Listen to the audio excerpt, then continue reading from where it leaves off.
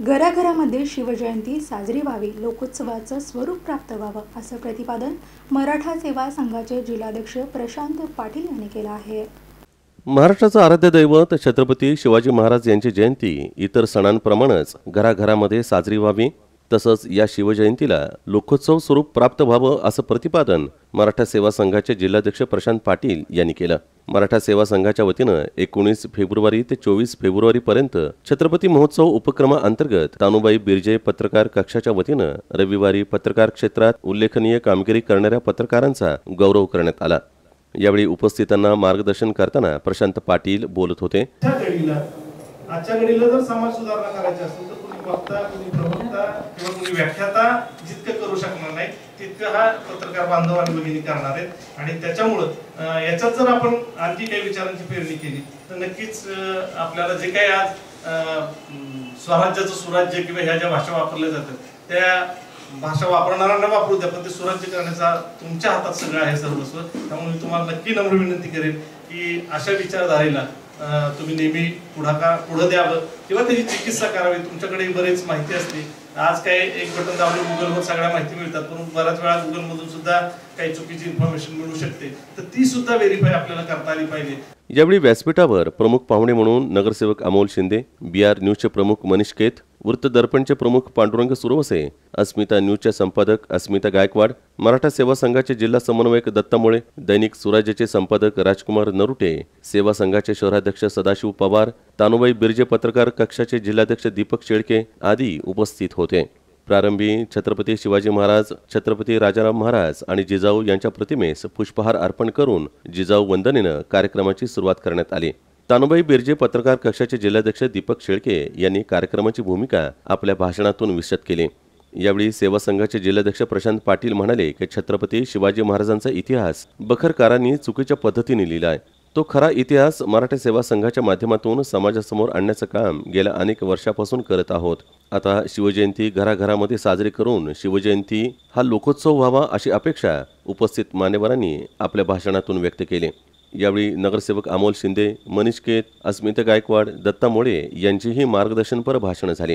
गेली दहा बारा दिवस झालं आपण बघतोय सोलापुरामध्ये एक वेगळं चैतन्याचं वातावरण तयार झालेलं आहे.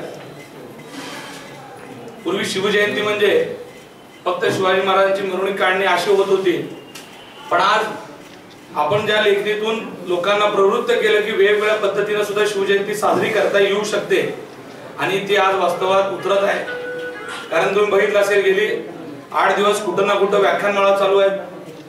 वेगवेगळे छोट्या मुलांचे स्पर्धा असतील. घराघरात मनामनात शिवजयंती हे सगळं होण्याच्या माग मला वाटतं की पत्रकारांचा खूप मोठा वाटा आहे. की आपण असं पुढच्या वेळेस न म्हणता माझा शिवाजी राजा एकोणीस फेब्रुवारीला जन्मलाय त्याचा आनंद साजरा करण्यासाठी मी लोकांना गोडधोड जेवण खाऊ घालतोय. असं म्हणून आपण कार्यक्रम घ्यावा. मराठा सेवा संघाने त्याबद्दल पुढाकार घ्यावा. घरोघरी जावं. सगळ्या लोकांना सांगावं की ज्या पद्धतीने परमपूज्य डॉक्टर बाबासाहेब आंबेडकरांची जयंती साजरी केली ती या बुधवार पेठेत माझे सगळे मित्र आहेत. तर त्यांच्या घराच्या बाहेर आकाशी कंदील लावला जातो. घरात नवीन कपडे घेतले जातात गोडधोड केलं जातं. आणि त्या महान व्यक्तीचे उपकार किंवा ऋण फेडण्याचा ते प्रयत्न करतात. तसाच प्रयत्न आपणही आपल्या राज्यासाठी करावा. आणि आपणही लोकांपर्यंत जावं आणि लोकांना सांगावं की त्या दिवशी नवीन कपडे घालावे काहीतरी गोड लोकांना खाऊ घालावं बोलवावं लोकांना. आणि ही पद्धत आपण सुरू करावी अशी माझी आपल्याला विनंती आहे. ते खूप महत्वाचं आहे की आज आपण शेताकडे आपण गावाकडे पण ग्रामीण भागाकडे पण आपण जाणं हे माझं एक कर्तव्य समजते. आणि तिथेही लक्ष देणं कर्तव्य समजते. परंतु हे पहिलं कर्तव्य वाटलं की ज्या समाजाने मला घडवलं आणि ज्या मराठा सेवा संघाने माझ्या जडणघडणीमध्ये मराठा सेवा संघाचा खूप मोठा वाटा आहे. आज प्रत्येक ठिकाणी मी ज्या ज्या वेळेस काही नवीन काम करते त्यावेळेस सेवा संघाचे सगळे पदाधिकारी तन मन धनाने माझ्यासोबत राहिलेले आहेत. त्याचाही मला विशेष अभिमान आहे. आणि त्यामुळंच ही माझी पहिली जबाबदारी समजून मी इथे आले.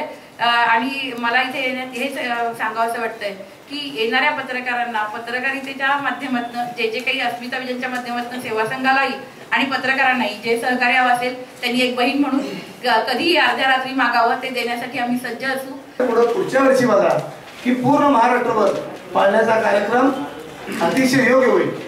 त्याच्या पाठीमागं सर्व आपली फार मोठी ताकद आहे. आम्ही मोर्चाच्या वेळेस बघितलं आपली टीम वर्क जी काम करत होती. या टीममुळं आपल्या समाजाला आरक्षणासारखा एक अतिशय महत्त्वाचा जे काय गोरगरीब शेतकऱ्यांच्या मुला मुलांसाठी अतिशय योग्य निर्णय झाला तो त्याच्यामध्ये आपला सिंहाचा वाटा आहे. याचं कुठं तर मराठा सेवा संघाच्या वतीनं आपलं रूप फेडायचं होतं. म्हणून आज आपल्या सर्वांचा इकडे आम्ही सत्कार ठेवतोय. आपण आज इकडे आलात. त्याबद्दल सर्वांचे धन्यवाद मानून माझे दोन शब्द संपवतो. पुरस्कार प्राप्त स्वराज्याचे राजकुमार नरोटे राकेश कदम अपर्णा घवाणे यांनी सत्काराला उत्तर देताना आपलं मनोगत व्यक्त केलं. तर पत्रकार क्षेत्राच्या माध्यमातून समाजामध्ये विविध उपक्रम राबवणाऱ्या आणि पुरस्कार प्राप्त पत्रकारांचा विशेष गौरव उपस्थित मान्यवरांच्या हस्ते करण्यात आला.